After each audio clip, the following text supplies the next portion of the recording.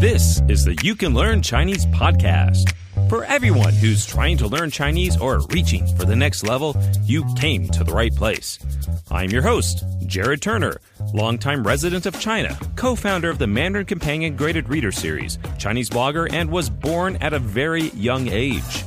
My co host is John Pasden, co founder of Mandarin Companion, founder of All Set Learning, the Chinese Grammar Wiki, Sinosplice.com, and owns his own bowling shoes.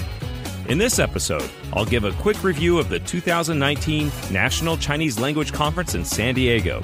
And John and I will talk about the different stages of learning Chinese. You'll also get a rant and a rave.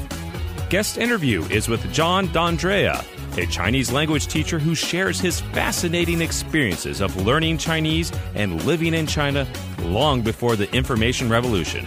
All this and more, let's get to it. Johnny, how you doing, man? Hey, Jared. Everything's great. I'm excited for today's podcast. All right, so uh, you're going to be telling us about an experience you had recently, right?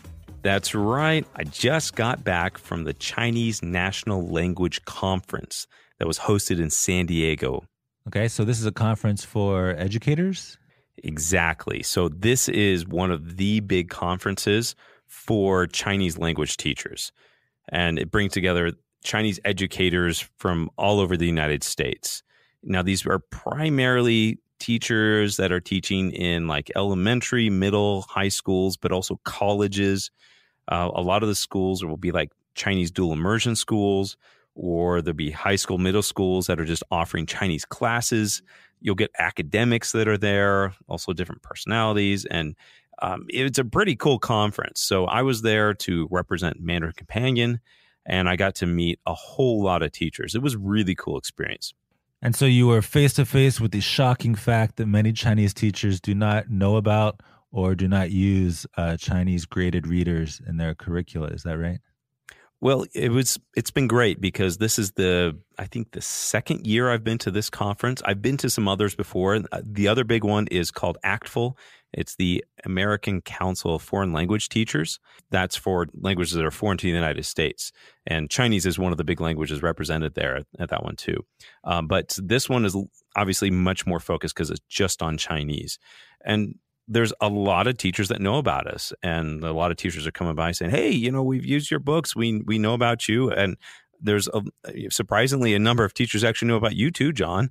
Uh, hey. There's there's teachers I've talked to who know about your blog and they've known about the work you've done at Chinese Pod in the past. It's also one of the fun things when I have talking to people is that uh, I say, "Oh, uh, you know, the Chinese Grammar Wiki," and surprisingly, number of teachers actually know about that, and they're like, "Oh yeah, that's a great resource." Well, yeah, it's free. It's online. If, exactly. It's so easy to find. And I'm like, "Yep, that's uh, John. That's that's his baby. He's uh, he's behind the Chinese Grammar Wiki." Cool, cool. But at the conference, there's an exhibition which um, I was there when we were promoting our books. But um, there, it's also has a has a lot of symposiums or breakout sessions that are talking about uh, different topics about learning Chinese. I whipped up the program here, and it's really interesting. You got some things like here's here's one a breakout session is a cognitive study on Chinese character acquisition, or teaching Chinese with a progressive approach, or motivating novice learners for high levels of proficiency. Um, there's just a whole lot of things here. Teaching history and culture through Chinese art. Um, you have some pretty unique and fascinating speakers there as well. So it, it's a pretty cool conference. Uh, if you are involved in Chinese education, it's a great thing to attend. Next year, I'm not sure where it's at, but it's put on by the College Board. That's the same organization that puts on all like the AP Chinese, the, sorry, the advanced placement tests in the United States. Um, and so they're a pretty big organization. They do a lot of training and uh, other conferences like this. But it was a really cool event. And you even got an interview with a teacher there, right? Exactly, and we have a really cool interview. We'll talk about him at the towards the end of our session here, but it's going to be really cool so the conference was great. So I'm as excited to get back from that and just had a really good experience. They were talking to a lot of teachers specifically about like how to do reading in the classroom, how to do extensive reading programs with students, and uh, just about some of the results we've been getting with students and how it's been helping them and pass you know tests and HSK and AP Chinese and all sorts of stuff. So it was really cool. I have, have a lot of a lot of follow up and a lot of work to do from the conference. All right, great. Looking forward to that interview. So one of the great things about talking with other Chinese teachers is is to hear stories and techniques or methods for dealing with teaching Chinese because it, it's so foreign for your average, you know, American beginner learner. And um, I think it really benefits to think about the the frame of mind that a lot of learners start in because it's not the same as just studying Spanish. You're studying Spanish, you know, you learn the word for book is libro and you know, oh, it sounds kind of like library. Actually, those two words are connected. And so you have these cognates helping you the whole way. Of course, the the letters of the alphabet are almost exactly the same. Um, and then you have Chinese where everything is different, everything is foreign, and you're starting from zero with everything. Um, so yeah, it's super challenging. So today I thought um, one thing we would do is revisit part of my website, Sinosplice, that talks about the stages of learning Chinese. Um, and I hope that you listeners will think about whether or not you went through these stages yourself and uh, what it was like. Yeah, there's absolutely stages. And I think it'd be great to talk about this because anyone listening to this is going to be able to re- relate with some of these stages. And you're going to be able to look back and say, oh, yeah, I went through some of that. So, stage one. Stage one, I like John how you say it, it's called the Qing Chong Qing stage. You know, that's when, you know, that first stage, you, the, the language is just so foreign. You just not doesn't make any sense. It's, I remember the first time hearing Chinese and being like, it, it, how can people make sense of that? It just seems like you know gibberish, crazy nonsense noises. Yeah, and it sounds racist, right? And that's kind of the point. It, it's hard to accept that it's even a language when your brain is just totally unconditioned and it seems so foreign, like crazy nonsense noises. So it takes a little bit of study or just even exposure with Chinese people to uh, to get over that. But in the beginning, yeah, it's almost hard to accept that these people are speaking a regular language just like English. Something else about this stage is now that you ha- know some Chinese, and anyone here, if you've studied, just even if you're just a beginner or you've, you're advanced, now that you know some of the language and you realize, okay, yeah, it, it does make sense. It has a rhyme and a reason. Sometimes we can go back and we look at somebody, you know, who might make fun of Chinese and they'll say like, oh, ching chong chang, you know, something like that and you're like, oh, that sounds so racist. That's like, that's not very respectful. But I think uh, I have to look back and realize I was at that stage too at one point. To them, it just, the language doesn't make any sense at all. Hopefully, you were a little nicer about it. Uh, yeah, I, I was. I, I don't think I actually went off and did that. But, you know, giving, I think sometimes is giving that a little bit of grain of salt and realizing, well, yeah, it, it sounds totally foreign. Like if we were to hear Tagalog or, you know, some Aboriginal language or something like that, it might sound just totally different. Right. So actually, I'm hoping that in the not so distant future, Chinese doesn't really have this first stage because everyone's going to be exposed to it a lot more uh, going forward. So I think my parents, when they found out I was living in China and you know speaking Chinese, they had a lot of trouble, you know, getting out of this stage. Like it's hard to believe that it's not nonsense noises. But nowadays, more and more people are probably thinking that that's kind of crazy. Of course, it's just another language. So that brings us to uh, stage number two, the okay, it's a language uh, stage, which is what you need to be at to be a beginner making progress. I think at this stage, you now can make sense of the basic building blocks of the language.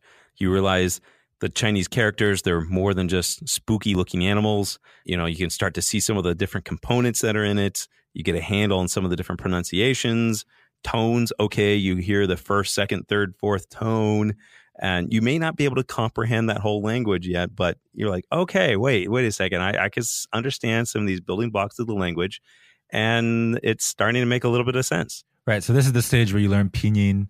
Uh, yeah you start to organize how this language works pinyin and tones. It's, it's a lot of a lot of work uh, in this stage really familiarizing yourself with the building blocks of the language but you know that's stage two. But i also think this is a, an area where you start to make a lot of progress too because you're like you can start saying simple words and sentences and you're like oh wow i i i, I feel good about myself right? I can kind of like i can communicate on some very basic level and that's exciting.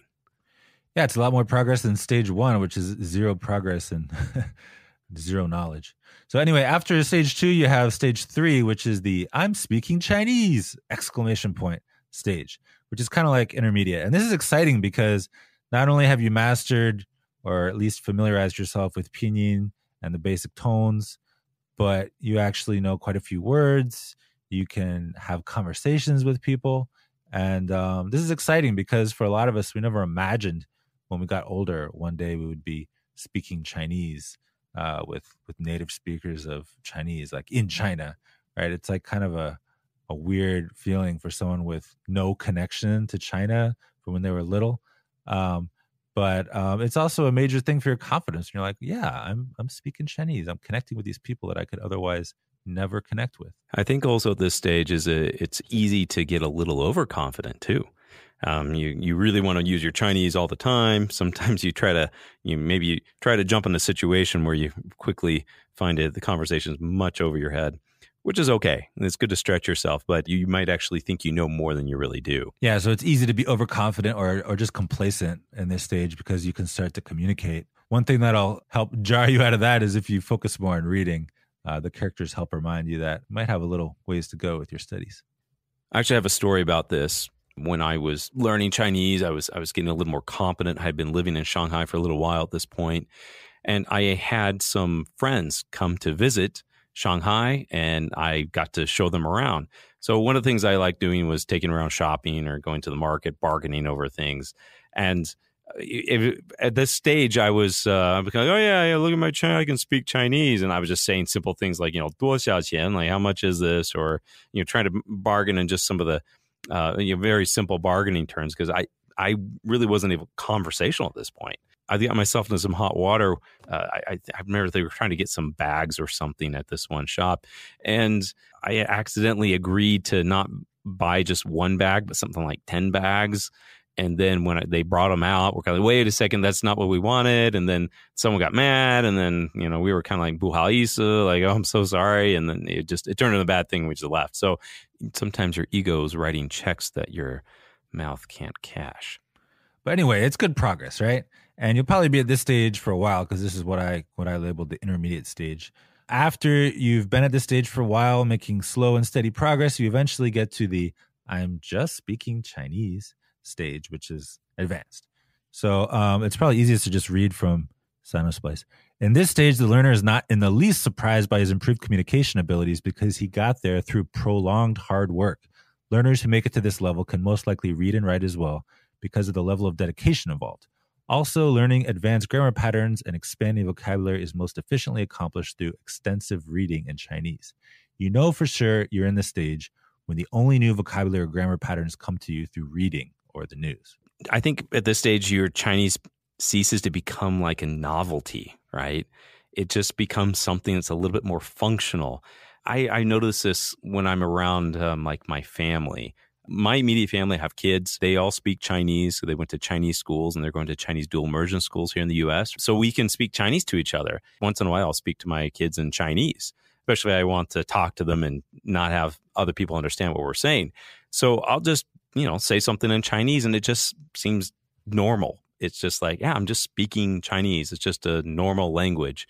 And sometimes, even when I'm speaking Chinese, uh, the people I'm around, even if they don't speak Chinese, my first inclination is that, oh, they totally understand what I'm saying because, you know, this is a language that's comprehensible, at least to me.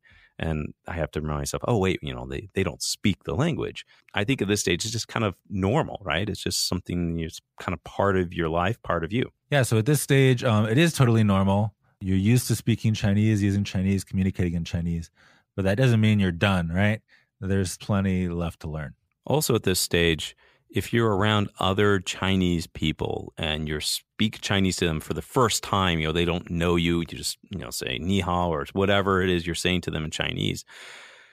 When they turn around and say, oh, need a Zhongwen Tai Hao, they compliment your Chinese, it's, it means a little bit less. I don't know about you, John. How does what does it feel like to you at this stage when people compliment your Chinese? Um, I don't mind it if it's if it's a, a quick thing. You know, it's polite. Um, that's kind of a part of Chinese culture. But if they make it into this huge thing, it, it gets kind of tiresome. So some of the most pleasant interactions are people that don't even acknowledge that I'm a non-native speaker of Chinese. They just talk to me like a regular person about a relatively complex topic, and they don't ever compliment me. I love that. it's refreshing, especially when all you say is like ni hao, and they're like, "Oh, your Chinese is so good," and I'm like, "I just said ni hao, right?" okay, so then the final stage I have on here is the pretty much Chinese uh, stage, which is native like your your pronunciation vocabulary are probably better than a lot of China's because not everyone speaks uh, standard Mandarin in China. But often to get to this level, you got to spend a lot of time in China, or you have a Chinese spouse, or you're just your life is China. Yeah, I'm I'm not at this stage. This is like the John Pasden stage. That's that's what I put this Well, at. I, I'm not native like um, all the time. Sometimes I feel like I'm pretty native like, but certain conversations I don't feel like I'm native like. For example, I couldn't have an intelligent native like conversation on like the literary merits of certain works. Like I would regress to to a babbling idiot in a conversation like that. Um, so you know, I'm I'm trying to push my overall level up to this level um, across the board.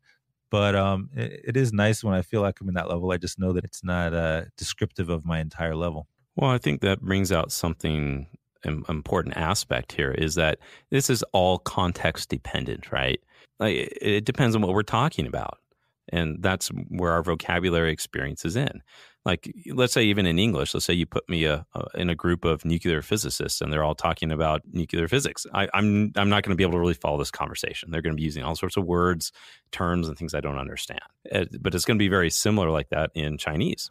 Right. But if you're an educated adult, then I'm pretty sure you don't want to like have the Chinese fluency of a third grader, right? Your goal is fluency that matches an educated adult. And so, yeah, that's quite a challenge and quite a bit of work. Now, there's one other scale among these stages of learning Chinese that someone had once related to me, and I, I love to bring this up. It's kind of fun. So, stage one, you know nothing. Stage two, you think you know everything. Stage three, you're afraid you'll never know anything.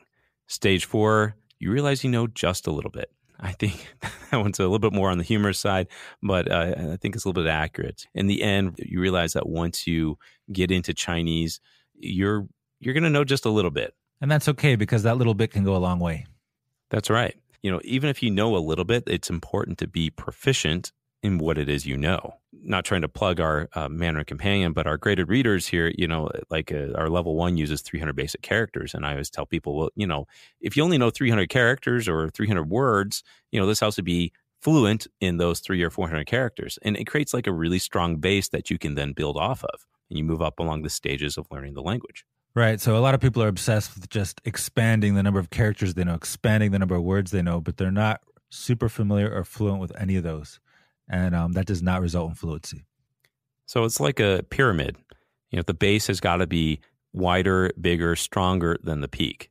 And so people just continue trying to expand out the top, you know, into all these, you know, branches and maybe, you know, specialized areas, but they don't have a basic grasp of the grammar or, you know, just how verbs are used and everything like that. Then it's going to be hard for them to achieve higher levels of proficiency. Or I kind of think of it as trying to build um, a tower using sand. You know, you, you got to have a strong foundation down there. It's just going to keep crumbling as you keep adding on top of it. All right. And now we have a word from our sponsor, which is Mandarin Companion. And today we want to talk about our new breakthrough level, which is coming out this week. Our breakthrough level is our new graded reader stories consisting of only 150 unique characters. Okay, so this was a lot of work. We started with level one being 300 characters. This is half of that. So uh, 150 characters. It sounds like a lot, but um, to tell a story, it's uh, it's just barely enough. But the good news is, if you've studied Chinese for about a year, you, you might be around the right level, 150 characters, to read stories. So these stories are not as long as our level one. Um, they're about half the length, which is, I think, a mercy when you're a beginner. It's hard to to read that much Chinese. But um, if you keep plugging away, you'll get lots of uh, repetition for those 150 basic characters, and you can read actual stories. So breakthrough level, come check it out at mandarincompanion.com. Now let's get on to our rants and raves. Now, John, uh, shall I start or do you want to start off this one? I will start because I have a feeling you're going to do a lot more talking in this one. That's because my rave is for something that I haven't actually experienced much yet, but um, I have to rave about it because I've heard from so many people about how good it is. And that is the China History Podcast. It's by Laszlo Montgomery, and um, it covers all different topics of Chinese history. These are not short podcasts, they're pretty long, but you know, if you're into history, especially Chinese history, you probably want a little bit of depth there. And uh, this podcast does it. That is a super cool podcast. I've listened to, I don't know, probably at least 20 podcasts by him. Really, really good. Yeah, I keep hearing that. Especially like I was always been interested in like the the different dynasties, and I, I really knew nothing about it. Like I in school, I never learned anything about the Chinese dynasty. So I you know I started listening up. I think they started the Song Dynasty and worked their way up, and fantastic, well researched, super informative um, relevant and actually some just cool historical stories about you know foreigners in China and stuff. A really cool podcast. So glad you brought that up, man. That's a great podcast. Awesome, and I am going to listen to it more. Um, I'm not really a history buff, but you know, the further along I go with uh, my Chinese life, uh, the more I realize there's a, a history shaped hole in there that I need to fill in. Okay, I have a rant, and my rant came from the the NCLC conference, National Chinese Language Conference, I was at this last week. Let's just let's put it this way: there's a lot of exhibitors at this conference, and so there's all like the Peking University Press, you know, Lingua, all the big publishers, and uh, lots of people offering educational materials and so forth. And so I had a teacher come along, and she was looking at our books, and she's just like, "It's not hard enough." I'm like, what do you mean? She's like, no, there's just it's not hard enough. I need harder stuff. And next next to me was actually a guy who had some um, more challenging material, something we'll t- discuss in a future podcast.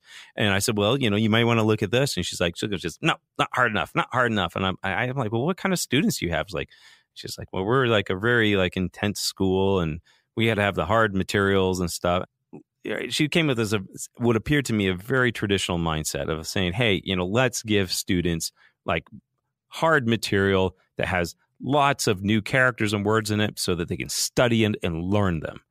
And I'm just like, oh man. Eh, thankfully, out of probably the 200, 300 teachers I talked to at the conference, there was one who seemed to be dogmatic about that. And uh, those teachers. I hope we get some teachers or they learn some better ways uh, about teaching students about how, how we learn the language. And, uh, and I hope that maybe, you know, their perspectives changes over time. But that was a bit of my rant there. It was kind of funny. One of the exhibitors who across from me, he's also in Chinese education. He came up to me. He's like, yeah, man, your stuff's too easy. We just need hard stuff here.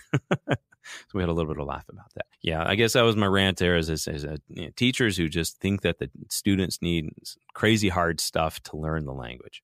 Well, fortunately, I think a lot of teachers are getting on board with stuff like graded readers because they're realizing that when you're always piling on the new characters and the new vocabulary, it's not fun. It's discouraging, and you just don't have any wins. And then the students drop out. And uh, what happens when the students keep dropping out of a Chinese program? The the program itself may be in danger at the university, at the high school, or it just always stays really small. And so it's a win for all the teachers to keep the students in the Chinese learning program. And one of the ways to do that is to help them enjoy what they're learning and give them stuff they can actually enjoy. Oh, I, you know what? You're, you're totally right. I am thankful to say that it's actually nice when I talk to a teacher and I show them our books and they're like, oh, these are too hard for my students. And I say, yes, good thank you you're right you know if it's too hard for them don't give it to them. You know wait you know maybe it might be another year or two or uh, down the line where they're going to be ready for this but I, I, have a lot of respect for those teachers that just you know right off to say oh yeah this is too hard for my t- students or most of my students is good but it's going to be a stretch for some you know then we can talk about that how to be how to help them catch up a little bit but it seems to me that nowadays a lot of teachers get this. They yeah. they really do. They seem to get like, hey, we give them too hard of stuff. They're it's just going to be they're not going to learn from it. And I got to say, it seems like the teachers that I meet in the states, or the teachers that that teach Chinese in the states, and we're talking about you know native Chinese speakers, a lot of them seem to have you know come around to this way of thinking. Whereas so many of the teachers in China, they're still in a very traditional mindset. Yeah, that kind of makes sense a little bit because I think the teachers who come to America to teach Chinese, um, you know, they have to level up on their English a little bit. You know, pretty much all of them are going to speak English at a, a, a somewhat proficient level. Um, back in China, they may not have had that experience in stretching their the English as much. I think it's one of the things of actually having gone through learning the language, learning a second language and stuff helps them to gain that learner's perspective on teaching as a second language. Yeah, and I think a big part of it is that in China, everyone learns English as a second language. You don't have a choice. It's not like the teacher didn't make it interesting, so we dropped out. No, you can't drop out. You're going to be learning English for your entire, uh, you know, education. And so the teachers don't have an incentive to keep it interesting. And, you know, in China, people kind of like to do things the traditional way a lot of the time. Whereas in the States, the, they'll eventually learn it's like, oh, wait a minute. So the students don't like the way that we're teaching, so they can just drop out. Um, yeah, that affects things. Yeah, that's an insightful point. And I, I think it's interesting for listeners to know that, yeah, like in China, as you're saying, they have to study English. To graduate from college, you have to, what is it, the CET 4? Yeah, or CET 6 for English majors. Yeah, so it's an actual Chinese exam that you have to pass in order to get your college degree. And it doesn't matter what you're studying, you everyone has to pass the CET 4 to graduate from college. Okay, so enough ranting, Jared. Um, we have a awesome interview coming up, right? Yeah, I'm really excited about this interview.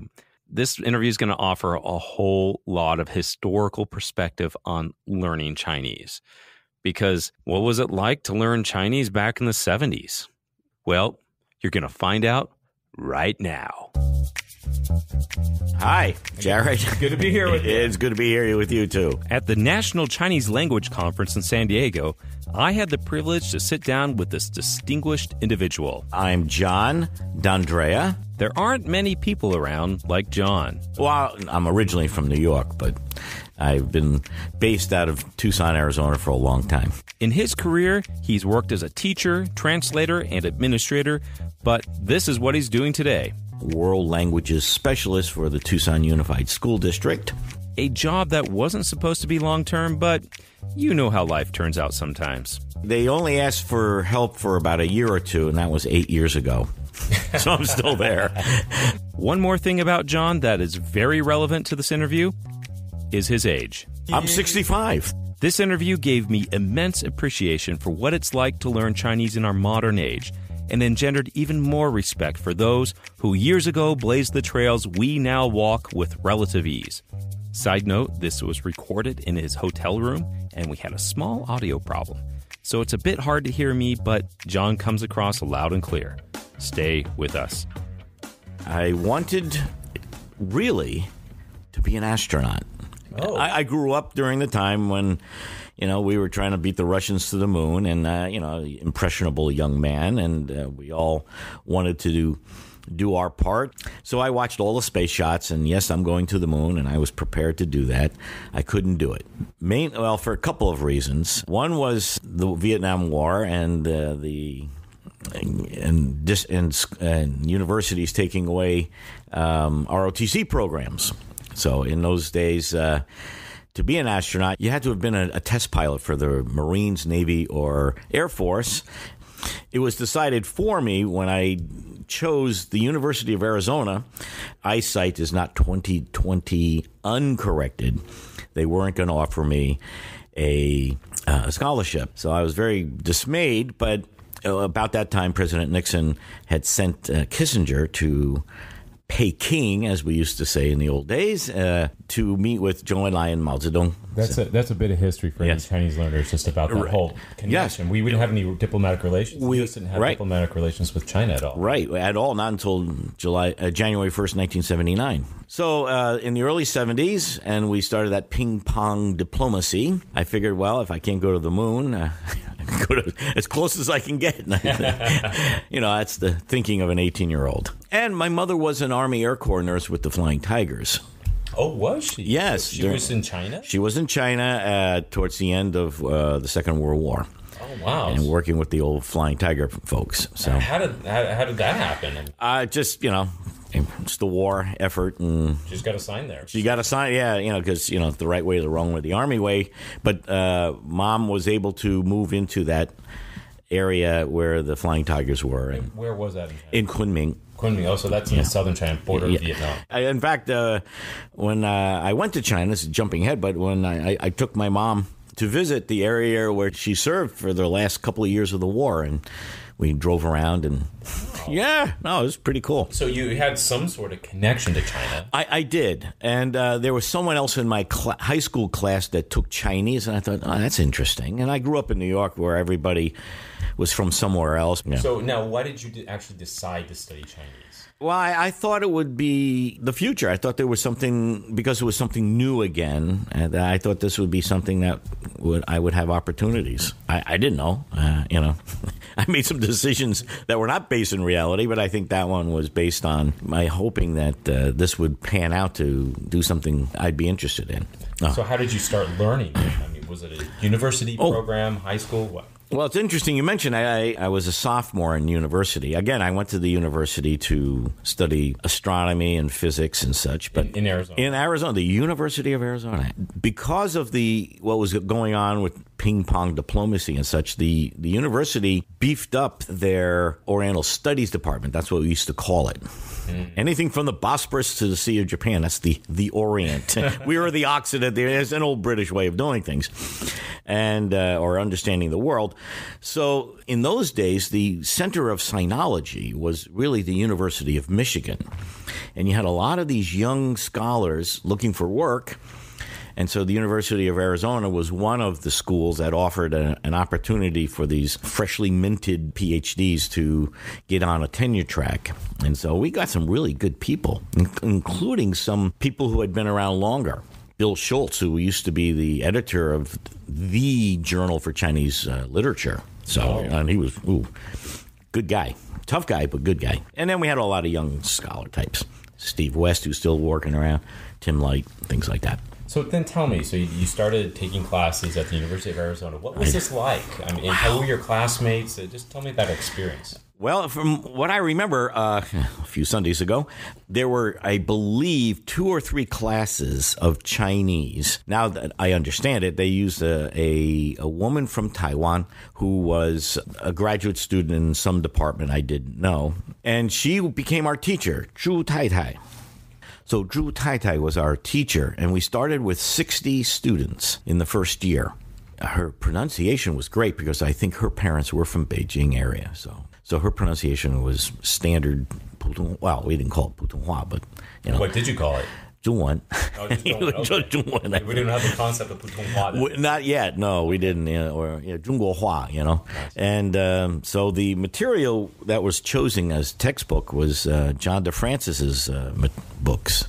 Now, now for oh. our listeners, John DeFrancis, right. he's kind of legendary. The, really. the let the the dude. So, tell us about John DeFrancis and how, what what kind of influence he had on the classroom. A little bit about him. Well, John DeFrancis, I believe, was really intelligent, but he uh, worked out of Taiwan. He had a language informants helping him with his materials, and he really set up a kind of graded approach to teaching Chinese. There were like a whole set of books. There were the, the character book of the, the dialogues for the teacher, and then the but they used Bopomofo. Okay, Bopomofo uh, is used in Taiwan. used in Taiwan, which I think is a great system, by the way. I really do. But I, I enjoy Pinyin too because you know it's the letters. But Bopomofo, I, I think, is a very clever system. So you had a book for the Chinese characters for the dialogues for the teacher.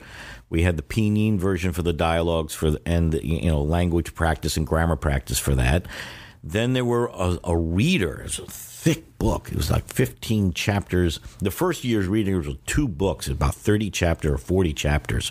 You started off with very basic characters and you built up from there. And it was a great system. I really thought it was very clever how he arranged the readers to be graded. It was only a beginning, intermediate, advanced, but it was a good start. And I think it was a very clever way of arranging and so the students could improve their levels. It was rather dated because he had written it a good number of years before I started. And it was all in traditional characters. And all in traditional characters, which I still enjoy, but thank God for simplified. you always forget one of those uh, in, in, in, when writing some of the traditional characters. And I had an opportunity years and years later to actually meet him. He actually came over to us. Oh, really? Yes. Yeah, so we were in, um, it was the first Sino Tibetan Language and Linguistics Conference held in, in China. Oh. And here's this fella, an old guy, you know, because I think I'm I'm older than he was now than he was then, and you know all of us younger scholar wannabes, and uh, we're all sitting around at this conference, and here comes this fellow over, and it's like this is the dude. This is the man. This wow. is John DeFrancis. And he wanted to talk with us and kind of get some feedback from us. And I thought that was very gracious and wonderful. He was a, we had a grand time talking with him. So you're using the John DeFrancis materials yes. in your college courses? In our college courses, we use the John DeFrancis text. Now, there was the other ones, and our instructors enc- encouraged us to also look at the New Haven materials and just kind of get to see how they did their version of Pinyin, the Yale uh, romanization system. And of course, we had to learn Wade Giles because all the materials about Chinese were written in Wade Giles' uh, romanization system. So, just for our listeners, we're talking about different early systems of, of what we now determine call pinyin. Pinyin, right. So all different spellings of, of how you do right. phonetic representation. Right, right, right. And, you know, Peking is really based from the, I think, the 1909 or 1911 International Postal Union way, and they used a a French romanization system. Oh. All right, so uh, so you're mm-hmm. studying in college now. What were right. the classes like? You, know, you talk about your materials, but what was that experience like learning Chinese in the classroom? Oh, well, uh, Zhu Tai was a great taskmaster, not a nasty person, but she really encouraged us to do all the work all the time. So we went to class four days a week. Plus, the fifth day was lab. So we sat in the laboratory this old style language lab with uh, we're in little mini cubicles alone, listening to tapes and repeating what was said, and then Zhu Tai Tai would listen in and correct our pronunciation for an hour a day. So we had five hours a week of Chinese. So we learned um, dialogues and we learned lots of characters uh, based on what was required for that year. Second year was murder. How so? Oh, I, I, second year Chinese was heavy on character reading and recognition. And how was that presented to you or taught oh, to you? Um, here's the book, read, and let's oh. go through it. Wow. Uh, and pronunciation, we, we had very few uh, Chinese, overseas Chinese, in at least in Arizona. So it was difficult to practice my pronunciation, and actually interpersonal communication was next to nil, except for Zhu Tai Tai, and every once in a while you see someone else. In fact, I, I have a funny story. It was about about the end of my second year learning Chinese, and there was a fella from Taiwan who opened up a store a few miles away from uh, the university. I didn't have a car. Who had a car? I was a poor scholar. Hansher is the word for that. I was definitely one of those. and so I, I was able to figure out a way to get to that guy's store. And I'm in a store, so I figure out I got to buy something I, but I didn't have that much money, so I, I, I, think I bought a couple pencils or something, something silly. But I, I just wanted to talk to somebody in Chinese. I gave him the pencils and the money, and I said, uh, "xie xie," as best as I could. And he looked at me and said, "bu xie." And I was shocked. He could see the shock all over my face because I had no idea what he meant or what he said. Because in the dialogue it says, if I say xie you're supposed to say bu keqi. but he didn't say that. I said, oh, crumbs. I mean, here's my first opportunity to speak Chinese, and I messed it up already terribly. But he could tell, thank God he knew, he, he could, he could read my face and said, no, bu xie, bu xie xie. And I went, oh, I get it and actually that was the one of the best lessons I ever had was a real person telling me and, and correct and, and letting me understand that there's more than one way to learn Chinese. And just because the dialogue says xie xie and you have to say bu keqi, that ain't the only way. We do the same thing. Years later, I became an ESL teacher. I would use, and we would encourage other people to understand that there's more than one way to respond in English. If someone says, how you doing? Mm-hmm. And that's, I have a funny story on that. But I mean, usually is, how are you? I'm fine, thank you. And you? No. But, yeah. And I tell people, if you don't understand what somebody says to you, just copy what they just said. You know, somebody says hi, you say hi. Someone says hello, you say hello. Someone says good afternoon, you say good afternoon. Same thing mm-hmm. in Chinese and any other language. So you are really focusing on, on learning characters, on, on yes. reading at this point. On reading. But you sounds like you didn't really have opportunities to really speak that language. Not at all. In fact, uh, rolling years ahead, I had a, after I graduated, I stayed on and became a graduate student in Chinese linguistics at the University of Arizona with a, a fantastic mentor teacher after that, uh, I stayed on uh, and uh, I got a master's degree and still couldn't speak a lick. But I, but I, but I had read by that time Confucius in, in original unpunctuated text. Wow. Yes, and Mencius and all the other fellows. Well, I mean, how was your reading level at that point? A pretty. I mean, read it, but I mean, how was your comprehension of, of the language? Not that great because I was reading old style Chinese. About that time, we were able to get some um, mainland Chinese materials. Uh, for teaching Chinese to non-Chinese, and you know, then I learned words like machine gun, hand grenade, and, because they're all revolutionary materials, and so it was a, a mishmash of different vocabulary sets, uh, semantic fields of, of, of words. But I got tired of reading and reading because there was no pleco. There was no. Oh, wait, this this is something I want to hear from you because, like, I mean, today I've got we have yeah. smartphones. Oh yeah, optical readers. I can point it out that right the character exactly. Like, tap on the electronic on. your screen, whatever. Right, right. So, well, what were you doing that day? Because obviously you're playing characters all the time. You don't know all, all the time. In fact, the same character. I I just saw that character two paragraphs ago, and I still forgot it. Yeah. So it's I had horrible. to very oh man. So I had to crack open the dictionary. And tell us how that works. Well, by radical, and sometimes you didn't get the radical correctly, or you counted the number of strokes incorrectly, or at least different from the book. And we used Fenn's. It was Fenn, F E double N, blue covered with a large character z on top. I got to hate that book because I was always opening it up Oh, and all it was also in Wade Giles. So I mean, oh, okay. there so you the go. Romanization. romanization was different from pinyin. But I mean, it was a great book. Thank you for the dictionary, but it was murder. Mm. Uh, to use because I was using it too much, and I think I do. Ah, I forgot it. Mm-hmm. One time, I remember I just got so tired. I was going to pick up that book and throw it with all my might at the wall and watch it blow up on the wall. Papers go everywhere, but I didn't do it because I still didn't have any money. My mentor teacher uh, did give me a wonderful gift, though. Uh, it was the first uh, mainland Chinese Chinese English dictionary, English Chinese Chinese dictionary. I still have it it was a 词典, or not a 字典. It was a, oh. a word dictionary, not just character so dictionary. this is when you could look up the word in English and find the character? Yes. and uh, But then I have to switch back because it didn't give the pinyin on it. So I have oh. to open up, but at least I got words, larger sets of words. I see. So, so uh, how long would it take you to look up a character? 30 seconds, a minute. And that doesn't sound like a lot, but when you're looking up 10, 15 characters in a short paragraph or something or a page. It got a lot longer than skimming through a book. I think yeah. nowadays, you know, we, we call that like reading below 90% comprehension, reading pain. Definitely reading pain. no, I didn't mind the reading. I, I mean, uh, we got some good things to read. It was very interesting.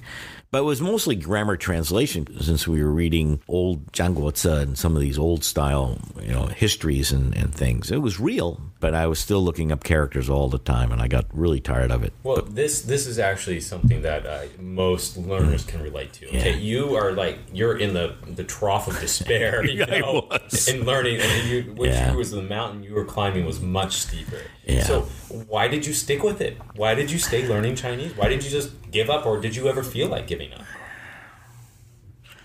No, I never felt like giving up. Oh, I, I guess I'm like a Gila monster. I grab onto you. I'm, I'm, not letting go. You know, I wanted to be an astronaut the same way. I was going to do it and do it and do it. And I didn't care. I mean, we were against the Vietnam War, but I mean, I, if I had to become a, a, uniformed military person to be a test pilot to fly, I'll, I'll, I'll put up with it. But I, I, needed a vision, and I went with the vision that I had. So, what carried you through this uh, these difficult times in learning? The hope of being in China. That was the hope of somehow being involved with China and getting really, really good at the language, so that I could be of some use to someone or some people or whatever. So you went on, you studied the, the graduate right. degree, you, right? You spent some time in academia. I like. did, yeah. I, I I mean, there was a committee to test me on my master's degree in Chinese linguistics and past that. I already had presented my thesis, and my printed thesis was, I don't know, 60, 80 pages, whatever it was. And then I had the oral interview with, you know, again, I had Bill Schultz, I had Ron Miao, I had all these other people, Steve West and Tim Light, right? They were all asking me questions, and I passed. So I went home, and my wife goes. I was married by that time. I've skipped out a lot of stuff, but I, I was married by the time. I needed someone to support my habit. thanks, uh, thanks, honey. I appreciate it. And she goes, "Now what?" so I went back to school and got a master's degree in ESL. Only took a year. It was easy. And then I got to teach, which was actually a good thing because I got to teach students from other countries. I, I stayed on at the U of A, and uh, I got involved with the University of Arizona People Republic of China Scholarly Communications Committee. That's quite the acronym. yeah, I, I, don't think we, we couldn't even say it in one word. But I was the I was the new kid on the block. All right, but my job was to interview the scholars that were coming now to the university. And the committee on the U.S. side, uh, U of A side, they wanted to know how well the the scholars were doing and then how well the departments were with these scholars who were, who were good in theory but uh, in practical things. They didn't have the wherewithal in China at the time on the on the practical side. So I was involved with that. So I got to use more Chinese so this is throughout the 70s. I studied through 76, 78, 79, and then January 1st, 1979, President Carter goes, okay, we're swapping recognition of who is China. So off we went, and now we're with People's Republic of China. And then they started coming by looking for English teachers. Oh. Yes, and I was actually teaching English at the Center for English as a Second Language at the University of Arizona by that time. And so I, we applied my wife and I, and we were there were some interest from the Bu in China, Ministry of Education, and they were looking for foreign experts. Ah, yes. And that's what we used to be called. Yeah. Interesting to be an expert at 27 years old. But so my wife and I went, and it was interesting because my mentor's old Yale buddy, guy named Charlie Blatchford, they were the first ones right after the change to the People's Republic of China. So he and his wife and two children went to Lanzhou University in Gansu province. Oh, that that's in more north central China. Yeah, out there. Well, they say the northwest, but you know, they were looking for a replacement, and so my mentor Tim Light said, "Hey, why don't you contact Charlie and see if you can put your, your name in for him, and he'll recognize name you."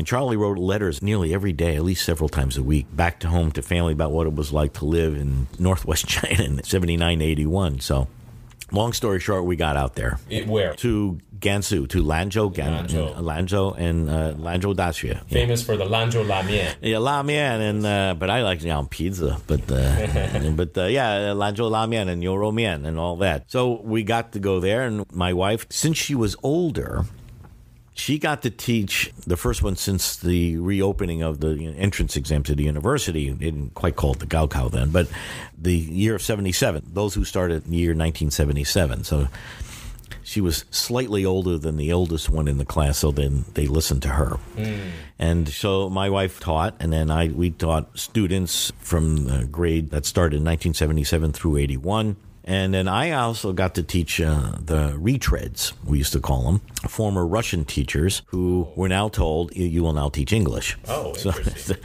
they, they were teaching uh, what they called general English, not English for majors. They taught just your usual second language that you must have. So my job was to encourage and help these former Russian teachers. So now you're back in China. This is yes. years? Uh, between 81 and 83, teaching at, the, at Lanzhou Daxue. Now, how did your Chinese progress during that?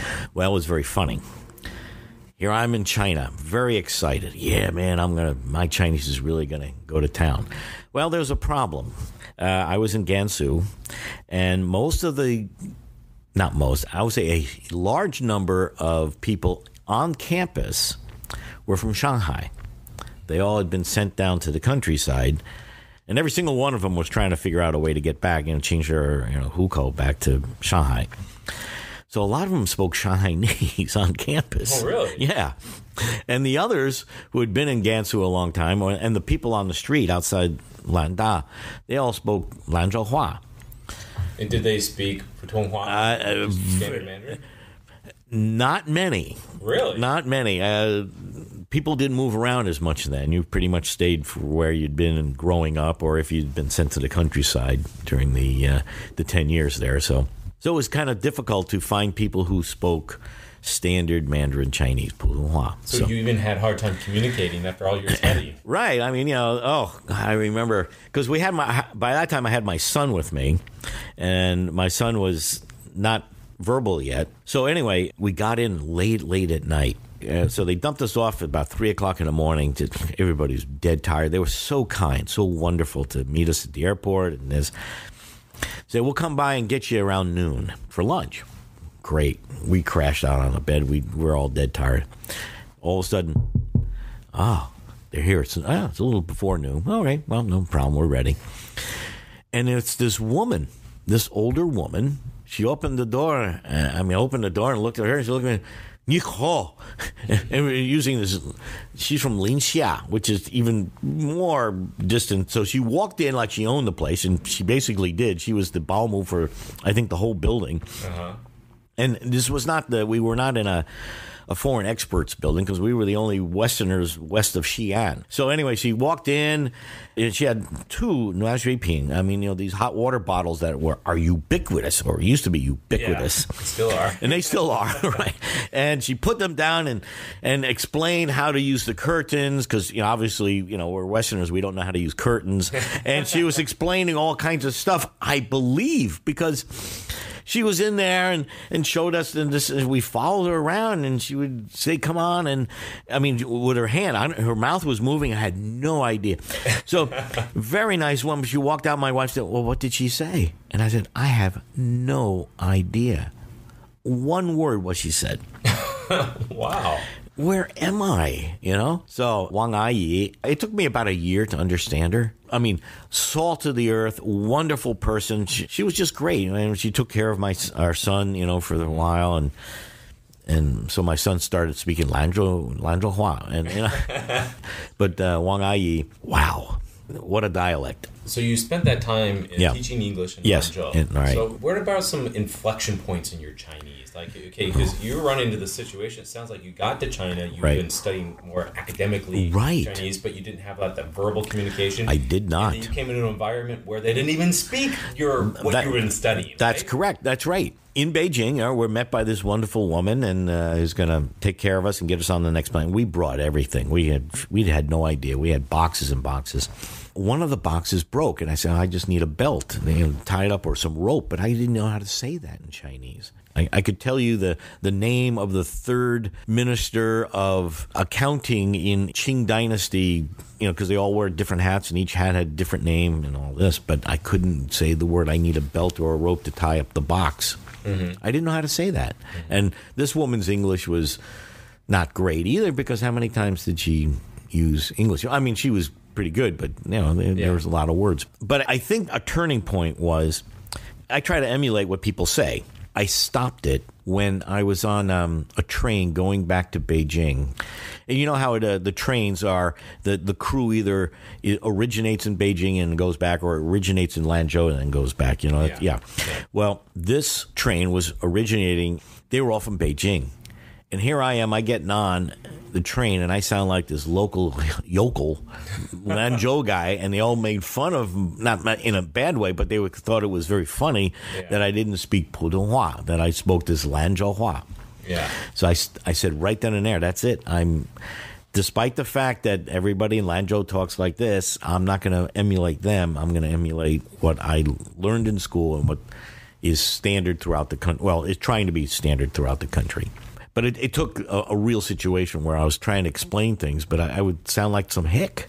I mean, not, not sound derogatory, but yeah. someone in the, in the West were speaking with a Southern accent. Like exactly, a, right. Or a Chinese person learning a right. Southern accent. I, re- I remember a Korean uh, comedian, Korean American com- comedian that grew up in Tennessee.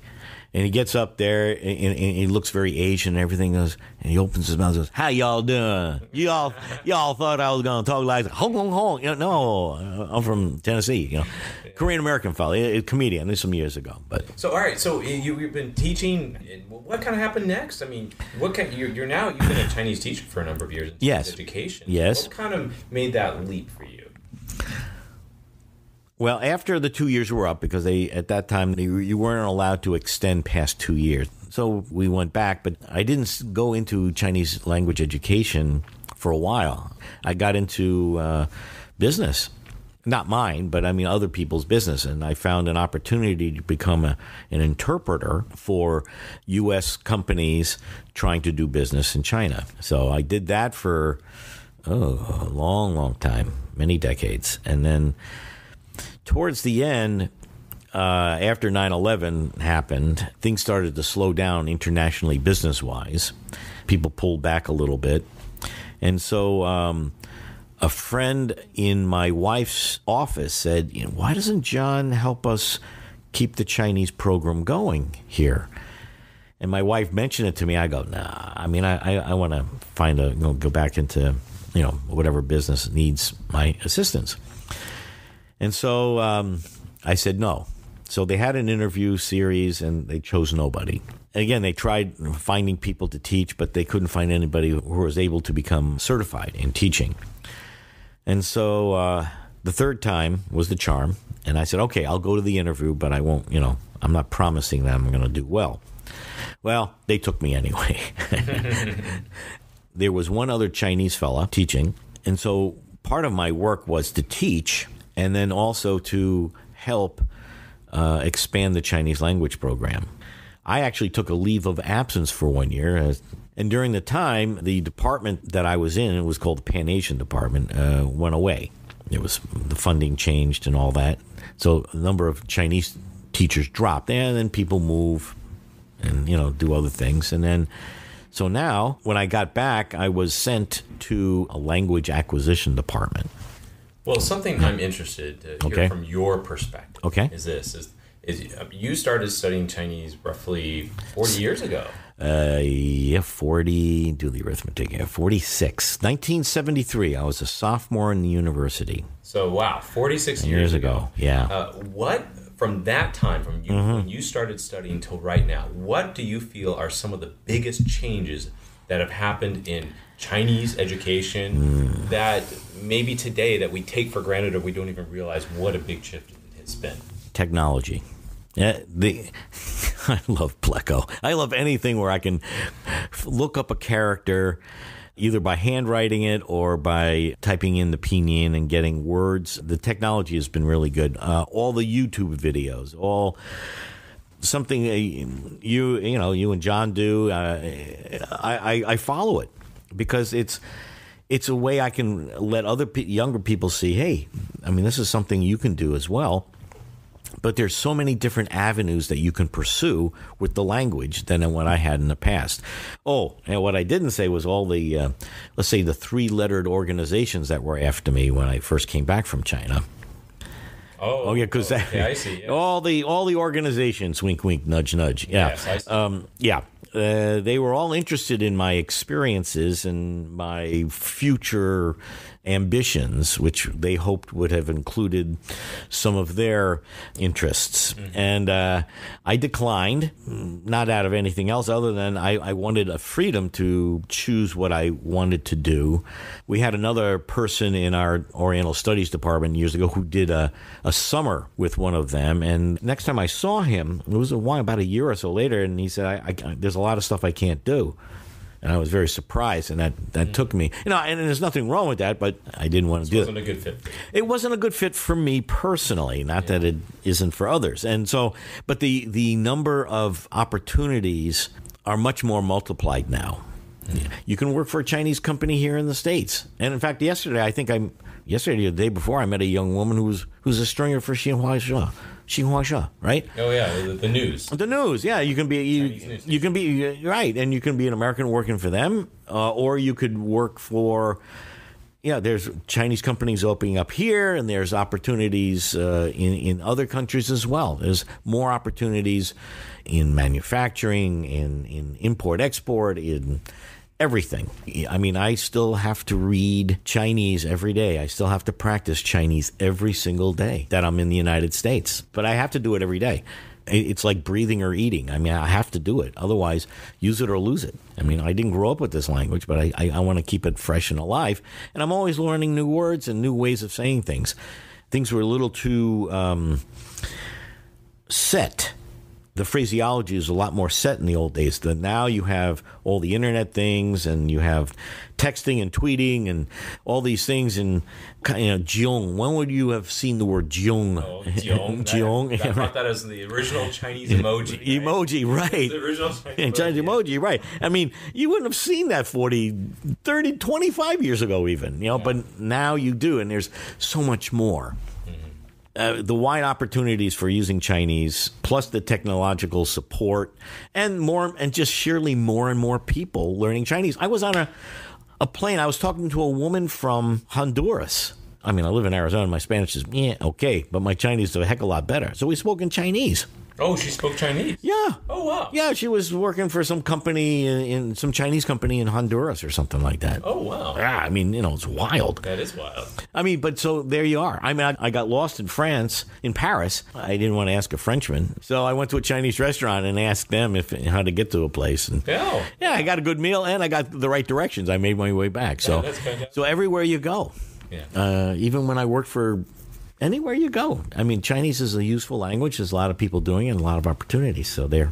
If you could go back and tell yourself when you had just started studying Chinese, right. you could give yourself any advice, what would you have said?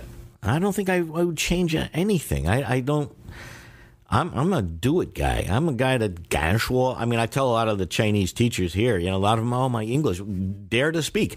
Hey, my Chinese isn't perfect. I don't care. Well, I mean, I do, but I, what I mean is, I dare to speak. I if I if I say it right, great, bingo, right? If I don't say it right, they'll correct me. Thank you. Next time I'll remember. I hope. But I, again, that's the way I, I just say, dare to do it. Take chances, especially if you're young. You can't mess up. Just do it. You can't mess up. I mean, unless you do something totally illegal or, or evil or something like that. But other than that, you can't mess up.